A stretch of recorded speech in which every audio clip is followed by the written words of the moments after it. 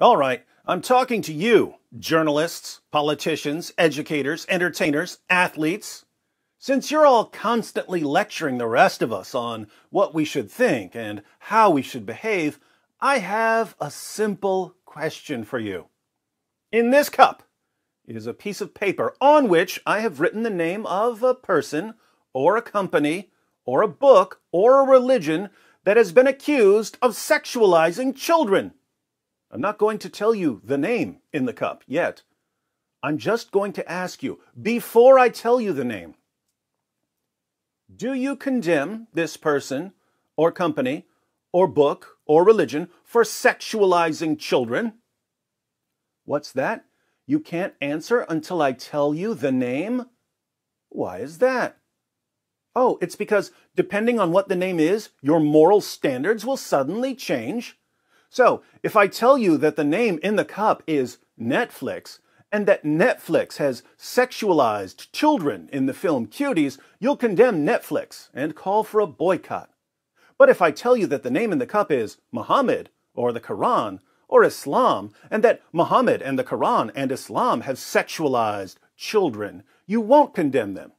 Instead, you'll condemn anyone who so much as questions Muhammad and the Quran and Islam for sexualizing children. Oh, you don't think that Islam sexualizes children?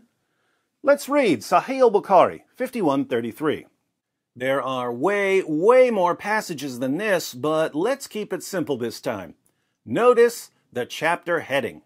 Giving one's young children, not adults, giving one's young children in marriage is permissible. Why?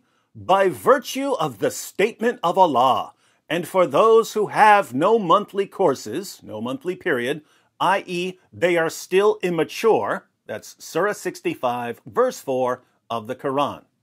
So, why is it okay to let someone marry your young daughter? Because the Quran talks about marrying girls who are too young to have a monthly period. And the iddah, the iddah is the waiting period to divorce your wife if you've already had sex with her. And the iddah for the girl before puberty, before puberty, before puberty is three months in the above verse. So the Quran is laying down guidelines for divorcing prepubescent girls. And now, to illustrate the Quran's claim that marrying and having sex with a prepubescent girl is perfectly acceptable, Bukhari presents this hadith. Narrated Aisha that the Prophet wrote the marriage contract with her when she was six years old, and he consummated his marriage when she was nine years old, and then she remained with him for nine years, i.e., till his death. According to Surah 33, verse 21 of the Quran, Muhammad is an excellent pattern of conduct for men. But Muhammad had sex with a prepubescent nine year old girl. So, did Muhammad sexualize young girls? Absolutely. Does the Quran sexualize young girls? Absolutely. Does Islam sexualize young girls? Absolutely.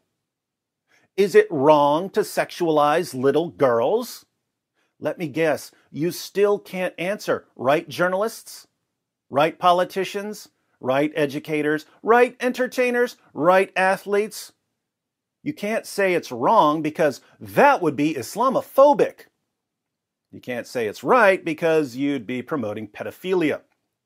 So, you stay quiet. No, actually, you don't. You condemn the people who condemn the ideology that sexualizes children.